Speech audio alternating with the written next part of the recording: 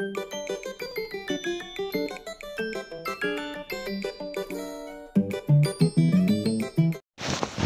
everyone. I am going to say something on Happy New Year. The new year is celebrated with great pomp in the whole world. It is celebrated every year on 1st January. New Year is celebrated every year at night at 12 o'clock on 31st December.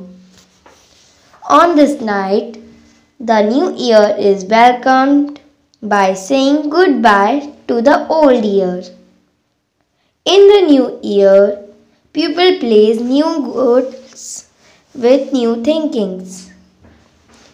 Delicious and favorite dishes are made in homes. On the first day of the new year, there is a holiday for schools and offices. Thank you.